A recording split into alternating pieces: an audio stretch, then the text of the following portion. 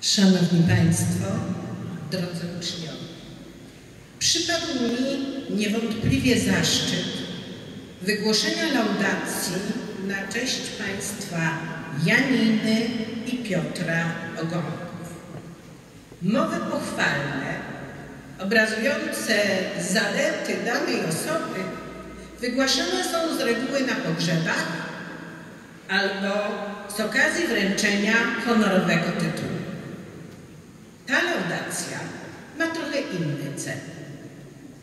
Chociaż można zauważyć, że nadajemy pani Janinie i panu Piotrowi tytuł wielkich Polaków, gdyż taki napis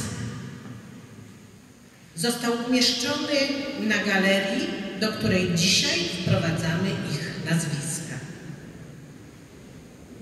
Jednak gdyby nasi bohaterowie mogli dzisiaj zabrać głos, z pewnością powtórzyliby słowa padające wielokrotnie w rozmowach z bliskimi, a przytoczone przez ich wnuczkę, panią Violettę Wawronkowską, które brzmiały Nie czujemy, że zrobiliśmy coś wielkiego.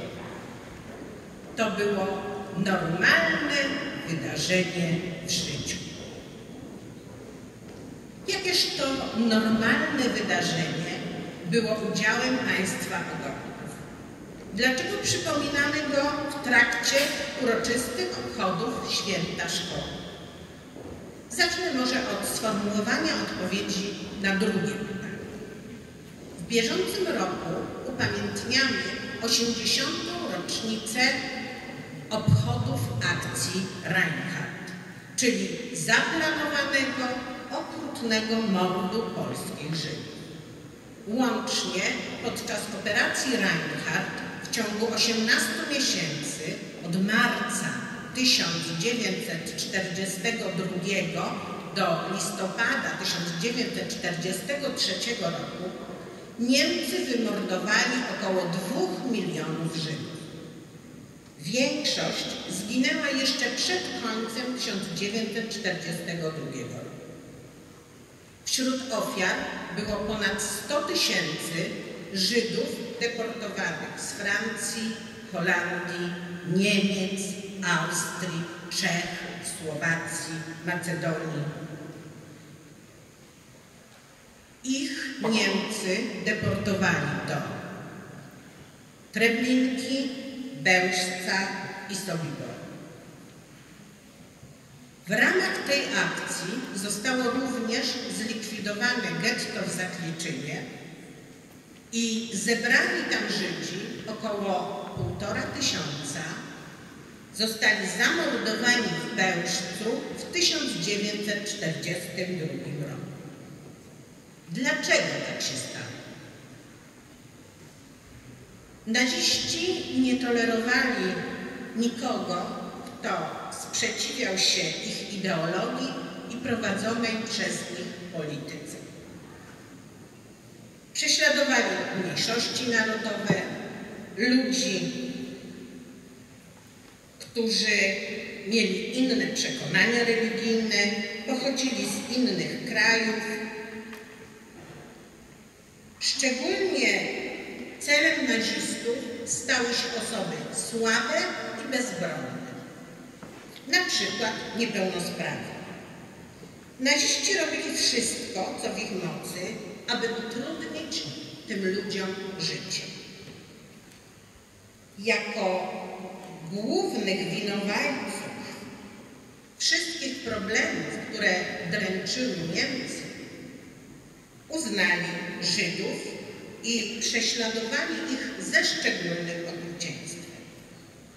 Prześladowanie Żydów, zwane Holokaustem, było jednym z najbardziej haniebnych okresów w historii dwudziestowiecznej Europy. Naziści zamordowali 6 milionów Żydów, w tym półtora miliona dzieci. Ofiar z pewnością byłoby znacznie więcej, gdyby nie działalność wielu ludzi dobrej woli. wśród których ogromną liczbę stanowili Polacy. Na pewno wśród osób obecnych na sali wielu z Państwa słyszało nazwisko Ireny Sendlerowej, pracownika Wydziału Opieki Społecznej w Warszawie, która przyczyniła się do uratowania 2,5 tysiąca żydowskich dzieci. Może potrafimy wskazać jeszcze nazwisko Janusza Korczaka, czy kilku innych. Ale często nie znamy nazwisk tysięcy ludzi, może nawet mieszkańców naszej miejscowości, którzy przyczynili się do uratowania czyjegoś życia. Mamy świadomość, że nigdy jedna osoba nie była w stanie kogokolwiek uratować bez wsparcia innych. Zdajemy sobie sprawę, że taka pomoc w Polsce mogła zakończyć się śmiercią pomagającego i całej jego rodziny. Zatem ratujący, ratującym Żydów nie zależało na rozgłosie, nawet ze względów bezpieczeństwa, a kiedy skończyła się wojna, bardzo szybko zapomniano o takich bohaterskich czynach. Teraz nadszedł czas, aby ludzi i historię przywrócić pamięci, zanim umrą ostatni, którzy o nich wiedzą.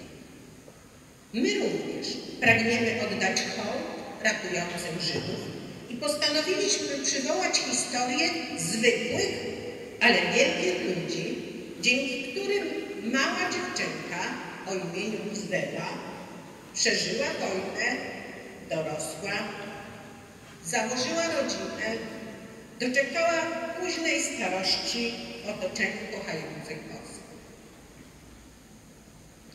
Historia miała miejsce w Biskupicach Mężczyńskich w niewielkim domu Janiny Piotra Odomków, do którego w 1942 roku siedmioletnia dziewczynka została przywieziona z Krakowa przez Franciszka Karasia, mieszkańca e, jednej z miejscowości pod Wojniczem, na prośbę jej cioci.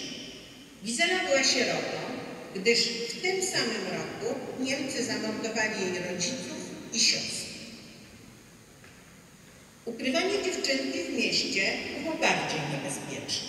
Państwo Gonkowie nazwali ją Krysią i wszystkim opowiadali, że jest córką ich kuzynki. Na wszelki wypadek, aby dziewczynka miała bardziej słowiańską urodę, przefarbowali jej włosy na blond. Nie afiszowali się tym zdarzeniem. Starali się pokazywać to dziecko jak najmniejszej grupie ludzi. Dlatego, y, kiedy do domu państwa ogonków przychodziły obce osoby, dziewczynka chowała się za piecem. Z czasem sąsiedzi zaczęli coś podejrzewać, więc zaczęto ukrywać dziewczynkę na strychu, w oborze, w specjalnie wykonanej na cel ziemiance, ale sytuacja stała się bardzo niebezpieczna w momencie, kiedy dom nachodzili szmalcownicy, czyli osoby wymuszające okup na Żydach lub Polakach im pomagające.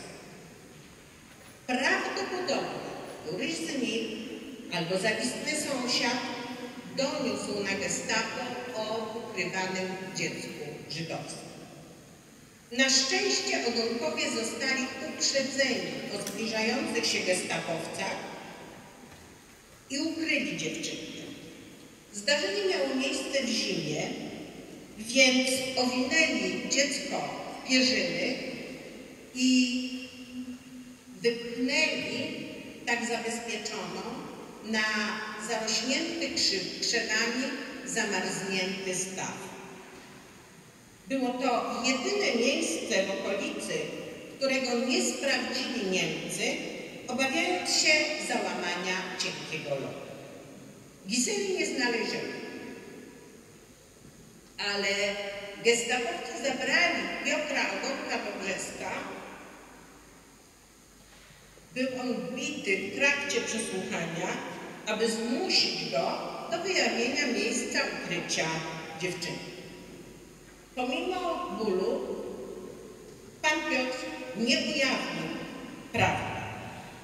Jednak skutki tego przesłuchania odczuwał do końca swojego życia. Gizela Krysia została uratowana. Przebywała w Biskupicach przez trzy lata do końca wojny. Potem wyjechała wraz z ciotką z Polski. W 1951 roku kobiety zamieszkały w Izraelu. Szanowni Państwo, czy zachowanie rodziny ogonów nazwalibyśmy normalnym wydarzeniem w życiu? Kogo z nas byłoby stać na taki czyn? To nie myślałby o konsekwencjach.